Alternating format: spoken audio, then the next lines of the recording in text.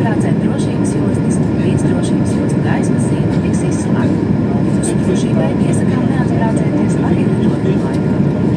Vienmēr esiet uzmanīgi, atverot plāktus virs jums. Lūdzam ņemt vērā, ka likvidam to alkoholisko dzērienu lietošanu ir stīgties. Paldies par sapratni. Dear guests, please remain seated with your seatbelt fastened until the fasten seatbelt sign